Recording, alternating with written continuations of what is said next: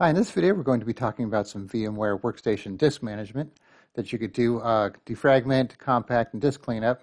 So we're going to go through each one of these and show you how to do it. So the first one is defragment. So this is, uh, if you are a Windows user, you know what defragmenting is, and you've probably uh, done that on your computer. Maybe not recently with like, you know, SSD drives. You don't need to do them, and Windows does a pretty good job of keeping things defragmented on its own these days. But anyway, so what this will do Rearrange your files, programs, and unused space on the virtual disk so programs can run faster and allows for faster file access. Does not reclaim unused space, so you're not going to get any space back. Uh, you're going to need free space equal to the size of the disk file on your host computer to defrag it. So if you have a 50 gig VMDK file, you're going to need 50 gigs uh, free disk space on your host to run the process. And it's not the same as running a defrag within the Win guest Windows OS. So it'll kind of defrag different type of files compared to the ones where you're actually within Windows. So to do that, first we're going to look at our file here. So this VMDK, we have 41.7 gigabytes. So now we're going to click on the disk here, bring up the options. We're going to click on defragment. This could sometimes take a bit of time to do, so we'll probably just have to pause the video and then be back when it's finished. Okay, so the defragmentation is complete. Took about 25, 30 minutes actually. And if we go back to here, we're still at, let me refresh, still 41.75 gigabytes. Okay, so next we have the compact option. It's similar to the old shrink command you used to be able to do from VMware tools within the VM. VM must be powered off, and you can't use the compact command if the virtual hard disk on the virtual hard disk, if this space is pre-allocated, as in, you know, instead of uh, growing as you needed, you allocated all the space at once, or if the hard drive is mapped or mounted. Uh, same thing as defrag, requires free space on the host equal to the size of the disk you want to compact.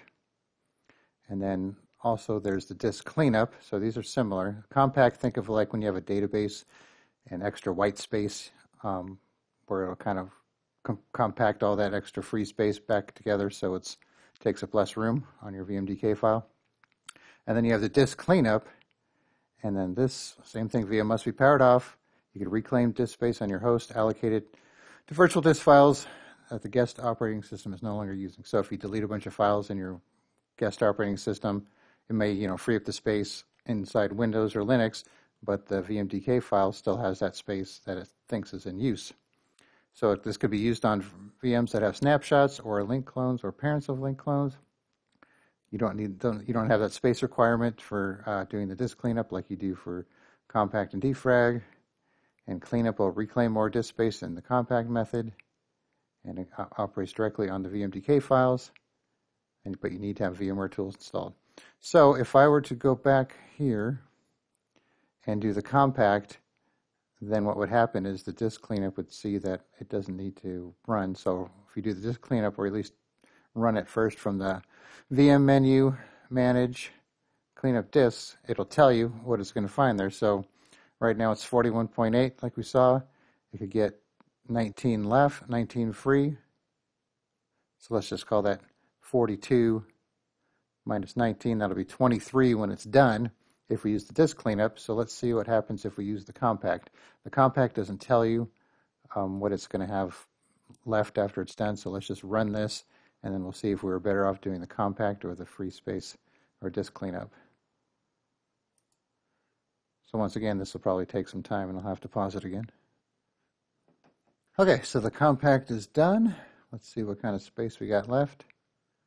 So 22.6 instead of about 23. So yeah, it looks like it did about the same as the uh, cleanup would do. So lots of times I find that the cleanup will give more space than the uh, compact, but I guess it depends on how much free white space there is on the disk to uh, get rid of. So your results will vary. So now if I go back to the VM manage cleanup disks, it's going to say cleanup is not necessary. So you could play around with these three methods. Like you know, like I said, the defrag is not going to get you any free space, but you'll get your stuff running quicker.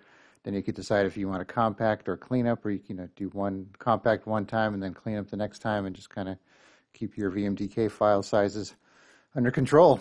All right, thanks for watching, and be sure to subscribe.